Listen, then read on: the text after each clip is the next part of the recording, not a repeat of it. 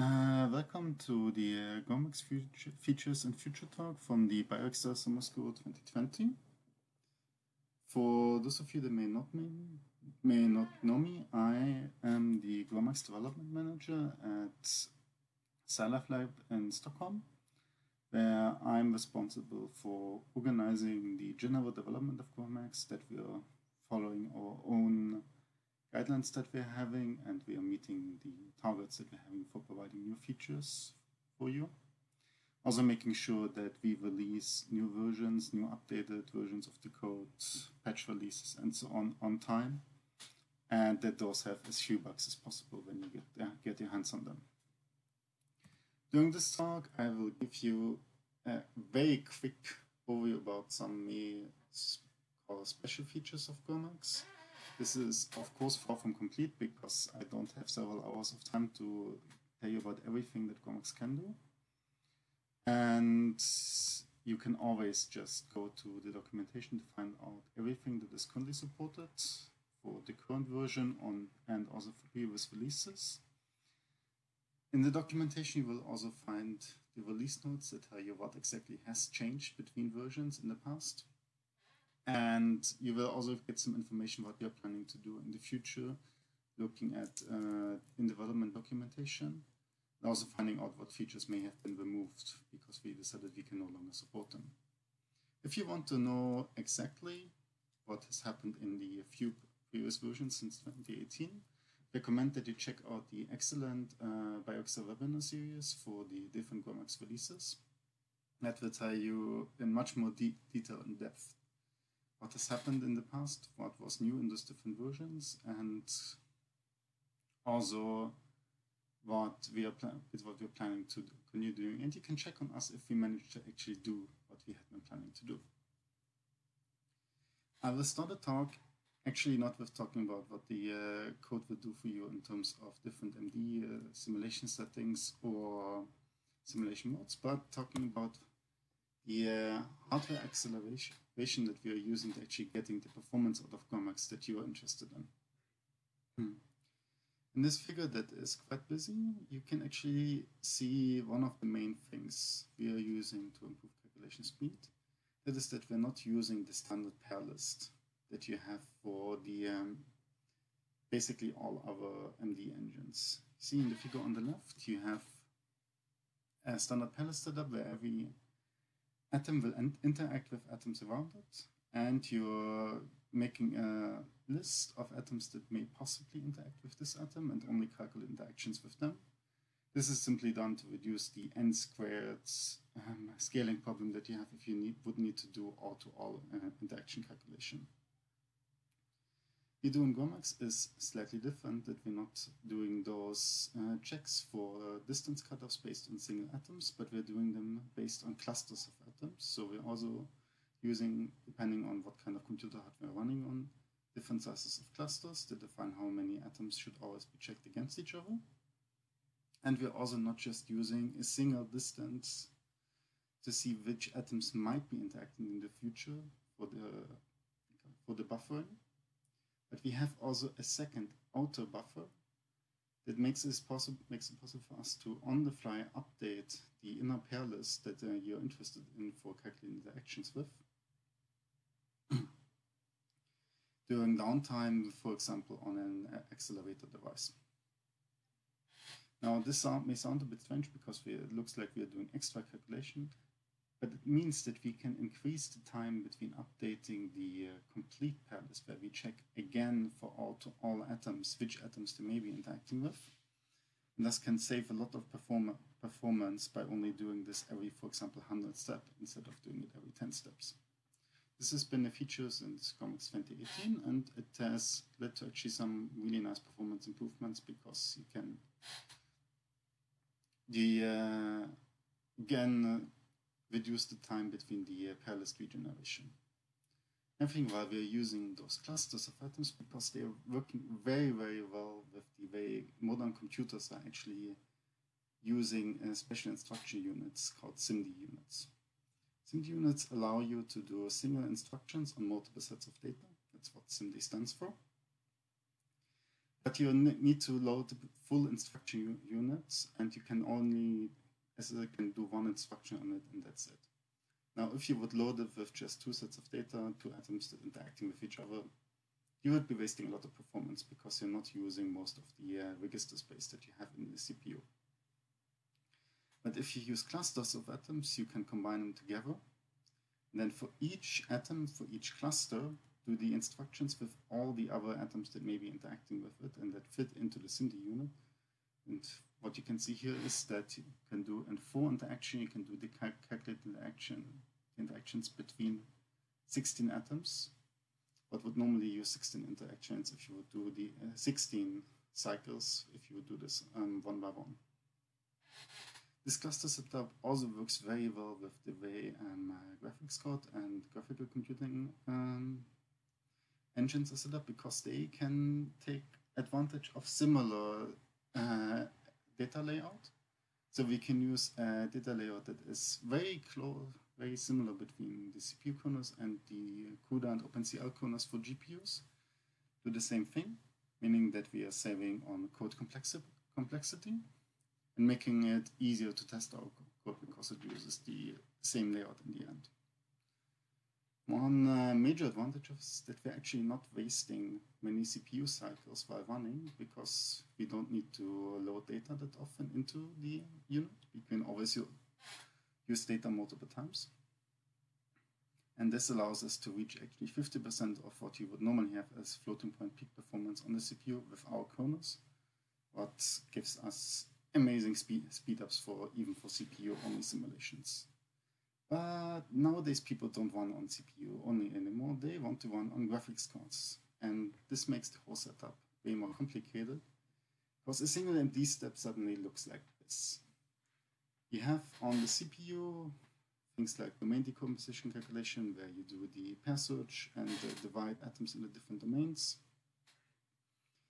You have bonded force calculation, you have PME force calculation, and then on the, P on the GPU, you want to do your non-bonded uh, force calculations. This can be even more complicated if you want to move in data from remote ranks, for example, over MPI. But uh, it's an additional complication that we don't really need to get into detail for. Now, you, can see in this point, you have a lot of communication steps between the CPU and your device, in this case, a CUDA GPU. And you're still seeing that there's some time on the CUDA GPU that is wasted, shown by the uh, red striped boxes. The GPU is idle because the uh, CPU is calculation, calculating something and preparing new data. This idle time can of course be reduced if you would start offloading more things to the GPU. For example, the uh, PME uh, mesh calculation can also, force calculation can also be moved to the GPU. And then depending on the performance of the GPU compared to the CPU, you can, it can mean that you waste a lot less time between if in the step where either CPU or GPU are idle. But even this is not always perfect. You can test and see if, if you run GROMACS with uh, the necessary flags to see how many idle cycles you have. It can be that in this case, it's either your CPU is still idle because it's waiting for the GPU if you have a weak GPU, or your CPU or, or your GPU needs to wait for the uh, CPU to calculate the bonded forces, do the integration and constraints before it can get new data. To uh, get around this idle time, we actually worked a lot for GROMACS 2020 to make sure that you can actually do the whole MD step on the GPU. It means you offload PME force calculation, you offload non-bonded force calculation, you offload bonded force calculation, and the integration of forces and constraint onto the GPU and make use of the uh, acceleration features there. This can lead to very good speedups if you have weak CPUs that are that are much slower than your GPU and can mean that you can run multiple simulations on a single node where you have multiple GPUs and you can run an extra simulation on the CPU because it's mostly idle. Uh, this can also be a problem because it's not always the case that you can calculate really everything on the GPU because we don't always have kernels to calculate everything on the GPU. One very erroneous uh, example there are the CHARMM special forces where we need to calculate forces from CMAP terms and there is no GPU kernel for this. To do the calculation then, we need to be able to copy force positions back from the CPU, from the GPU, excuse me, to the CPU. So we're basically offloading to the CPU, calculate our special forces, and then copy them back before we do the integration on the GPU. This can actually lead to improved performance if you, for example, would decide to offload bonded or PME calculations from the GPU back to the CPU mm-hmm. but do the update and constraining still on the GPU because in the above scheme, you see your, your CPU is suddenly idle. It's not doing anything for you. So why should you waste those cycles if you're not, planning to use them for something else? This means that if you do everything on the GPU, you can actually be slower instead of offloading to the CPU. And we are working on automating this as much as possible so that GROMACS will be able to tell you which offload uh, is the uh, optimum one for your current simulation settings. And we're also trying to improve the um, simulation, different simulation types that are supported by for running everything, all the calculations on the GPU. This is still some ongoing work because even in GROMACS 2020, you cannot use this with domain decomposition and multiple ranks. If you're not willing to be a bit um, experimental and try the uh, uh, experimental feature flags that are in the code for this, so you can try it out. And I would recommend if you if you really want to check this, that you check out the uh, blog post by NVIDIA, where they're going into detail how to run the simulations, how to enable the developer or experimental features and how to validate that these simulations are still stable and doing what they're supposed to be doing. But I think this is enough for talking about how we achieve speed. Our speed ups now talking about what you can actually do with it. One thing that got added in GROMACS 2018 and I think is one of the uh, most important things that got added recently is the ability to validate physically correctness of simulation settings. This is both uh, something for us as developers to make sure if we change something in the implementation of, for example, an integrator or thermostat, that we are not um, uh, doing some unintended changes that suddenly mean your simulations are no longer physical. And it's also for you to check if your simulation input is actually following some physical laws and reproducing some observables that can be checked. With GROMACS 2018, we ship a um, uh, physical validation suite. It can be run together with the um, normal regression tests, but it's usually not one because it can take quite a lot of time. As it also includes the ability for you, the user, to add your own simulations to it to quickly validate if they are valid. Validate they are valid.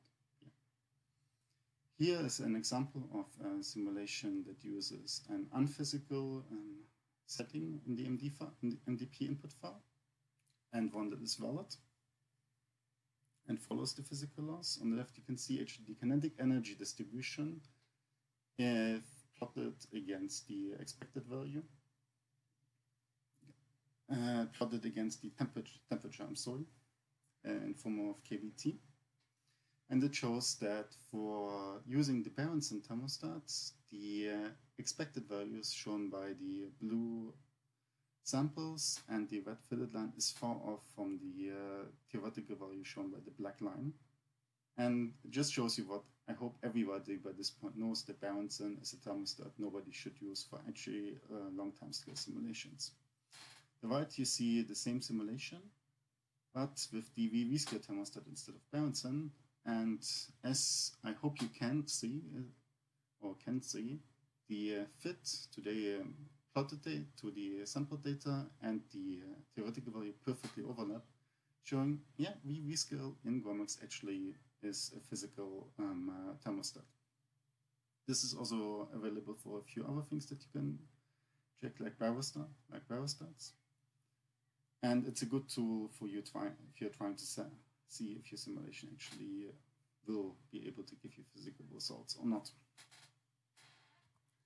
Another thing that got added actually in GROMACS 2020, so in the newest release, is the ability to run sim normal simulations of a protein or other structures and then fit them to electron density maps that are provided for, that are experimentally gathered.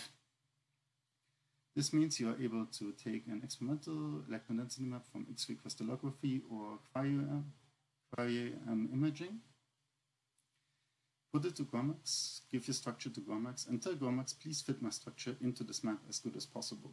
And GROMACS will just do this. We cal calculate a force from the difference between the uh, map your structure, your protein, would create to the uh, experimental map.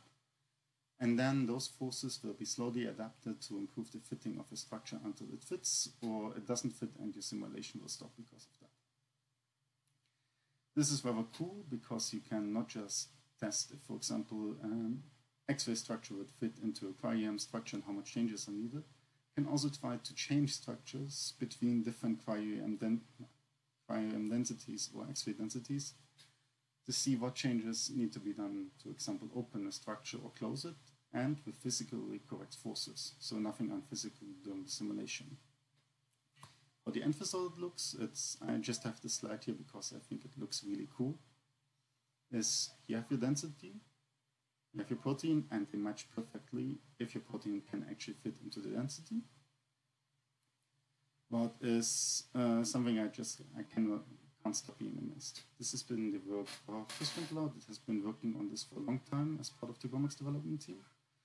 And I want to give him a big shout out for actually uh, implementing this into the latest version.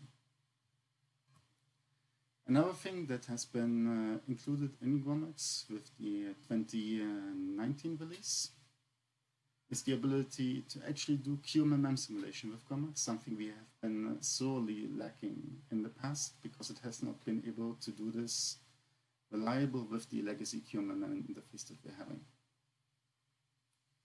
Those you can uh, just link GROMACS to the CPMD program and then uh, through CPMD control what will actually happen with your simulation and uh, try to simulate excitation states of atoms, chemical reactions in a protein environment, whatever you want.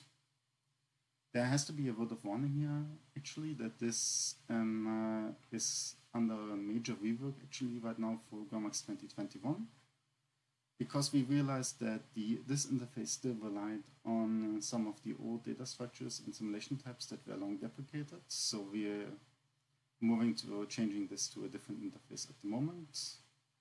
Let's see if I have time, I will talk about this a bit at the end of the lecture when I come to the future of GROMACS. Another thing that has been added in uh, 2018, and again, I think not that many people are aware of, is that we have a very not just great, but awesome way to do enhanced sampling in GROMACS with the adaptive rate histogram method now. It is quite simply, uh, as the slide says, you have an iterative scheme that solves for uh, free energy or bias that you're interested in. By collecting samples during the MD, and not just from sim single simulation, but you can, can have multiple simulations as well. And using those samples continuously to update the free energy estimate, until the difference between the uh, target simulation and your actually collect, collected, um, actually calculated um, bias that you have collected from your samples becomes zero. In practice, this looks like you have here on the, on the right side that you have a flat distribution before and you have a target simulation. Now, if you start, you see can have multiple walkers that are continuously updating a free energy surface until it converges to a point that is as close as you can estimate for the, uh, final distribution. And this was without any information about what is actually the target distribution here. Now, one major advantage of using this in GROMACS is that it works very well with our domain decomposition code and also the ability to run multiple simulations at a time because you can run the, the plot shows up to 100 simulations on more thousands of cores and reduce the time that you actually need until you get your en energy calculate that you until you get your energy that you're interested in from hundreds of hours to maybe a few hours because this scales amazingly well. The simulations are independent, but they can update the bias you're looking for, for independently in the simulation, communicate every 100 steps or whatever steps you set. And with this communication, continue updating their, their bias and not, they won't stop until they actually converge to the final data um, value that you're interested in. This work has been done mostly by Berk Hess and Viveca Lindahl. And there are some very interesting papers on this if you're interested in, for example, for calculating the energy of bases flipping out of double-stranded DNA. DNA that was one of the um, key uh, early examples of using this. Another thing that has been included recently as beginning in 2019 and now has been extended in GROMACS 2020 is the Python API that by now allows you to fully control simulation from Python. You can set up simulations, you can run simulations, you can analyze simulations, you can build up dependency graphs that get automatically resolved by the API workflow mechanics. To again set up a simulation, run it, modify it, and then analyze the data from it. You can also use the API to uh, you know, define uh, additional restraints that you want to put on a simulation making it uh, hopefully much easier to work with GROMACS in uh, different environments.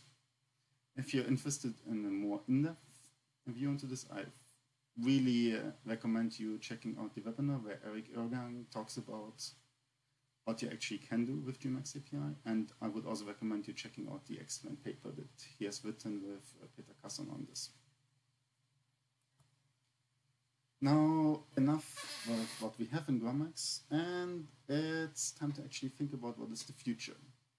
You can always, of course, check on GitLab, where we have developed now what are our current milestones.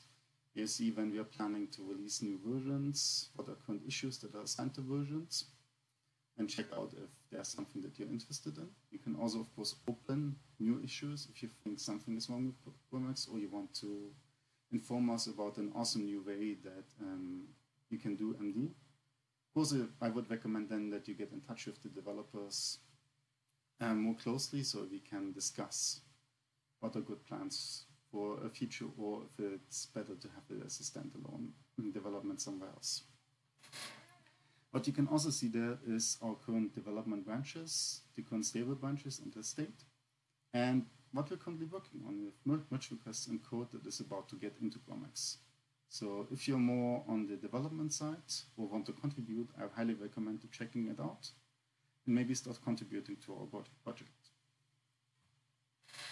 Now, I also have to show what is the current timelines if you don't want to go through GitLab yourself and figure out when we're planning to release things.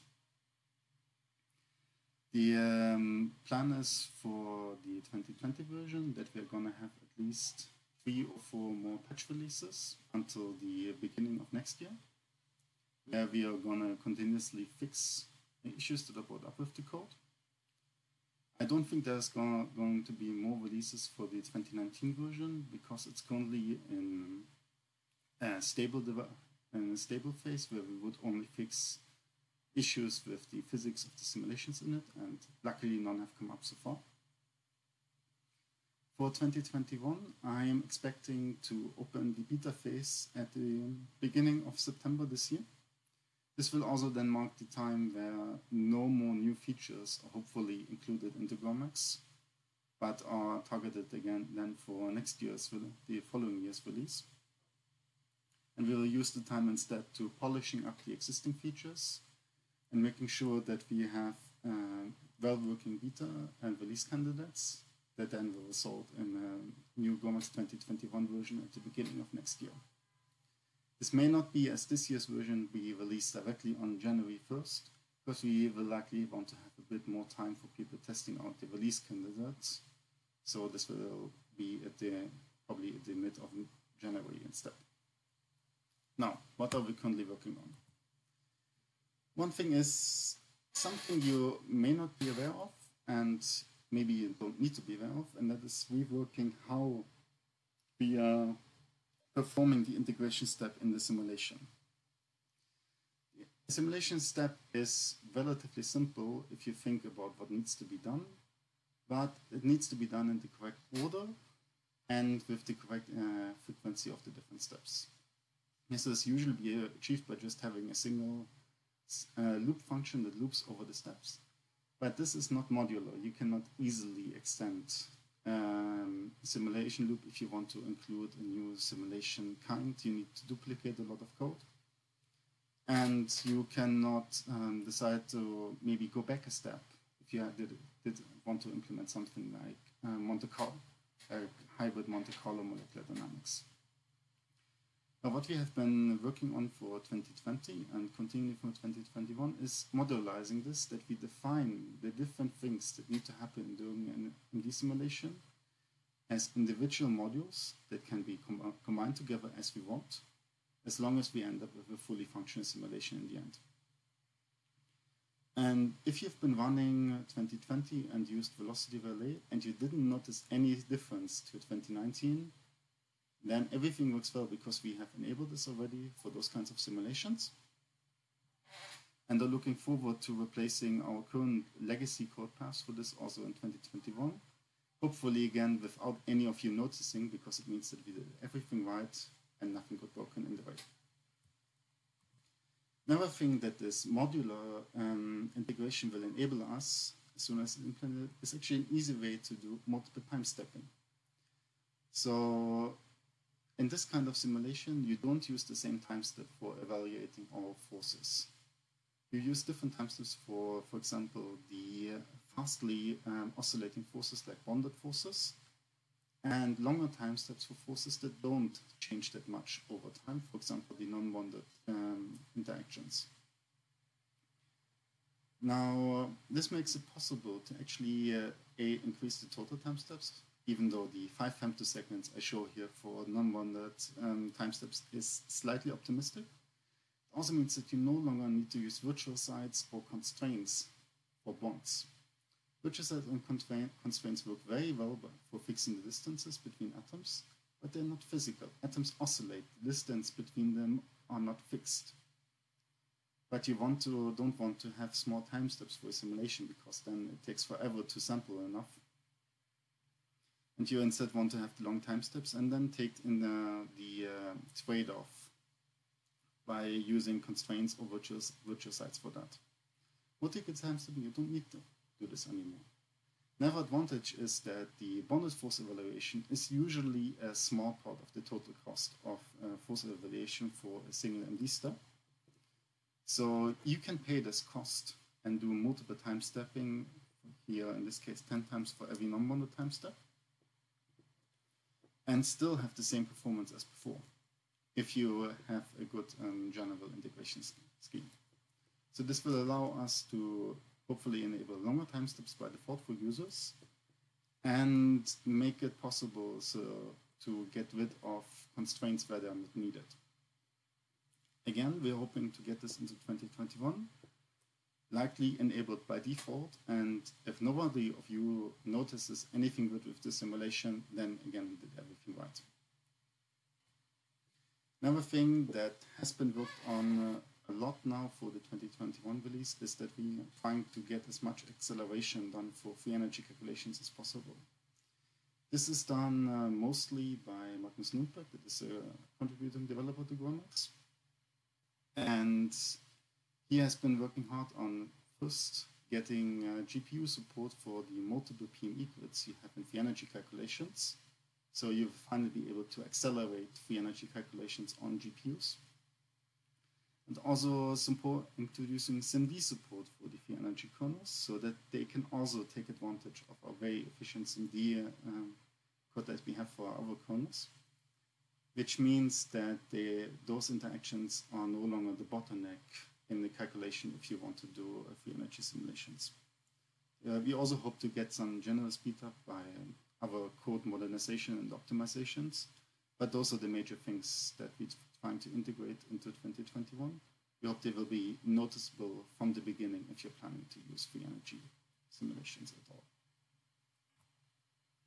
Another thing to speed up general simulations, especially if you have very large uh, simulation boxes and maybe sparse systems, is that we want to be able to imp implement a fast multipole method to su supplement our current PME implementation. As you might be aware, if you want to do a PME on a simulation box, you need to at some point communicate between all ranks all the grid position to calculate the PME mesh. This can be inefficient, so we are already doing optimization there to split between smaller number of PME ranks and particle ranks with less communication steps. But it's still not optimal because 3D, the 3D FFTs that we're using can still be limited, have limited scaling. Want to use instead is the fast multipole method where we do um, evaluation of the uh, electric fields to calculate long range electrostatics on, on different cell sizes. And just in terms of computational cost, this is much better than uh, PME, much better scaling.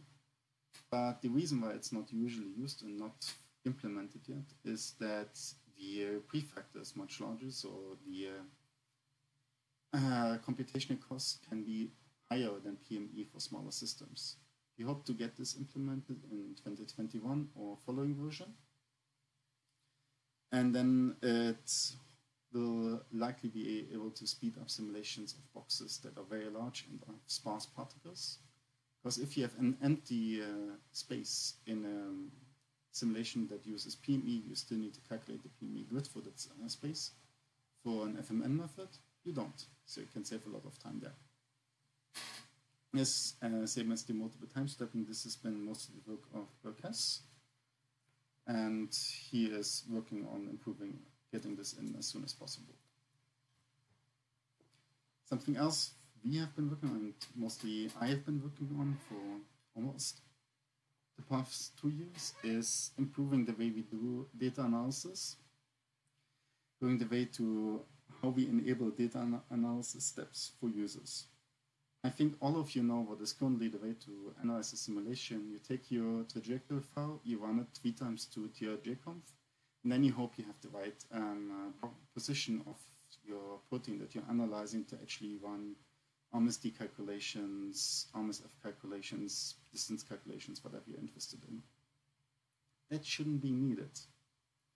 Because in the end, a tool will know how um, structure molecule that you're interested in analyzing should be oriented in the box before it does the analysis.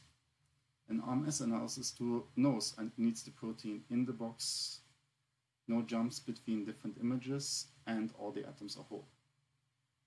Easily done. This can be expressed in a programmatic way, and then you can pre-process your trajectory file to make sure that those uh, preconditions are fulfilled before you do the actual analysis. I've been working on implementing those um, requirements and the preprocessing to the preprocessing trajectory preprocessing.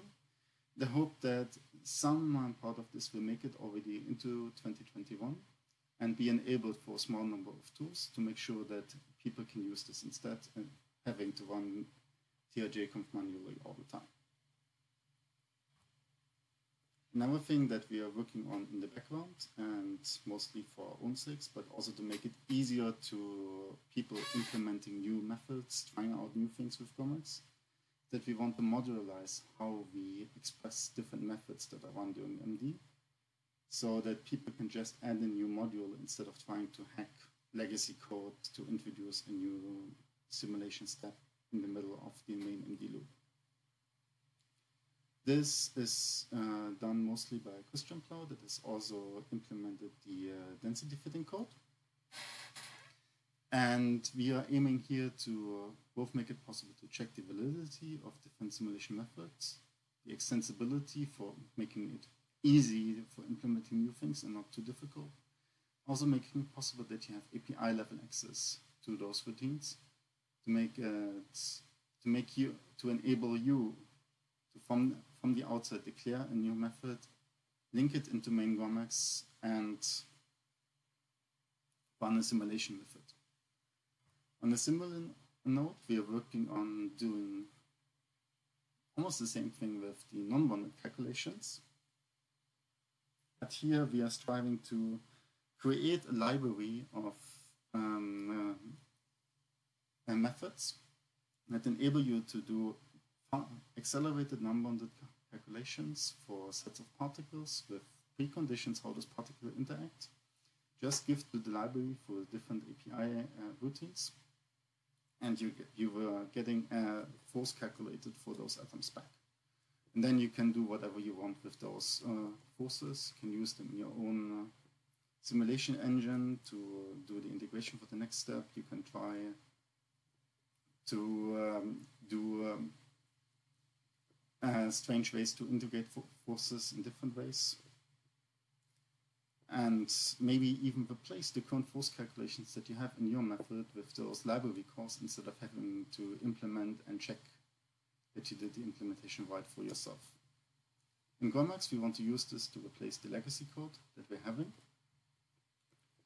And we're hoping that it will possible if we can expose those uh, routines at the API level make it easily extensible for people that want to play around with different force calculating schemes in the end. Another thing that will hopefully make it make sure that in the future when you get the GROMACS version, you can be sure that it's fully tested and all the possible ways we can think of have been tested automatically without any interactions need, needed.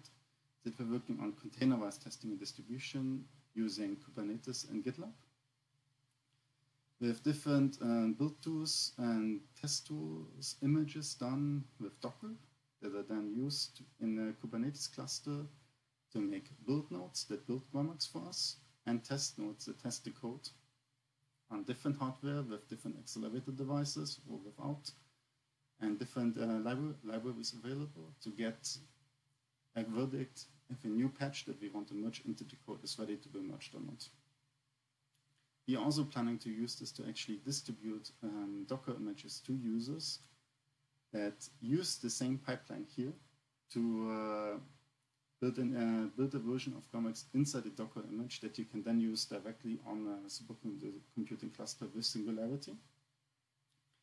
And the um, hardware acceler acceleration that you need without you having to worry if that your installation may be compiled diff differently, that you get issues with doing runtime with different processes that you're running on, but that the um, Docker image takes care of this for you. Of course, those are not all the plans, and I'm seeing that I'm already running out of time, so yeah, there are a lot of other things we're working on that are hopefully coming to fruition, maybe for 2021 or later and I welcome you to checking out current development again on GitLab. Also, you can check out how to contribute to GROMACS if you are interested in doing so and looking at the webinar I'm, I made for this a while ago. I have to warn that it's not totally up to date because it was still targeted at our old um, code review and testing system, but most of the things will still be there. And I also would like to thank all the people that have been working and are still working on GROMACS, and especially you that make uh, our time on developing GROMACS worthwhile.